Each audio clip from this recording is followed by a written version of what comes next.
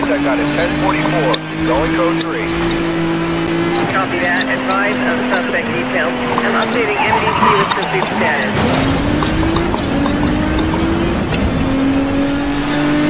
Dispatch, roadblock established, over. 10-4, you have authorization.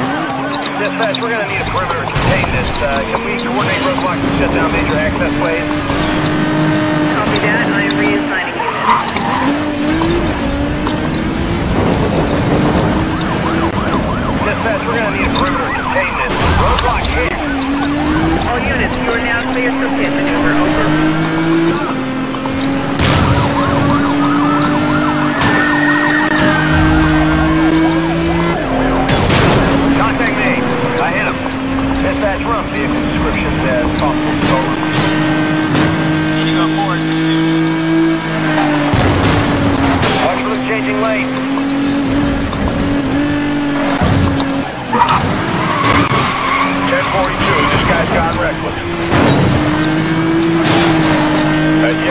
Yeah, dispatch these two series. We're not dealing with joyride.